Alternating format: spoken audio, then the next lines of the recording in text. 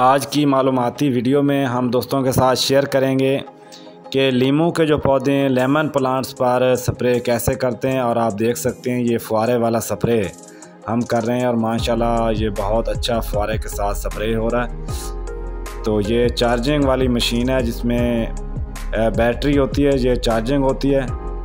ये आप इसको बिजली पे तीन चार घंटे लगाने के बाद चार्ज हो जाती है फुल फिर उसके बाद ये जो है वो आप स्प्रे कर सकते हैं लेमन के पौधों पर। ये तकरीबन डेढ़ दो साल के पौधे हो गए, जिन पर ये स्प्रे कर रहे हैं। तो आप ये देख सकते हैं कि कैसे जो है ये पौधों पर स्प्रे हो रही है। तो स्प्रे करने का एक ये भी तरीका है फुआरे के साथ इस तरह आप बेहतरीन जो है इन पौधों को स्प्रे कर सकते हैं।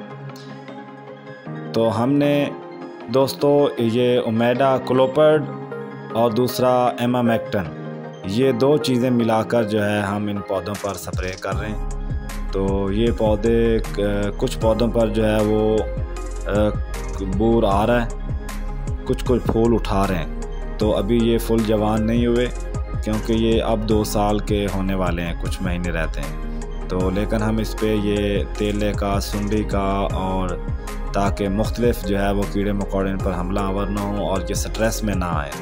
तो ये पौधे तकरीबन अच्छे खड़े हैं। तो आप ये देख सकते हैं कि ये इन पर स्प्रे कैसे की जा रही है।